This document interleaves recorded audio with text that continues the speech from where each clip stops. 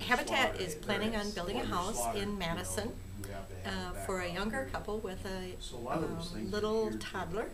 Sometimes And we plan on having a great year of volunteers coming to help us build a house for family in need.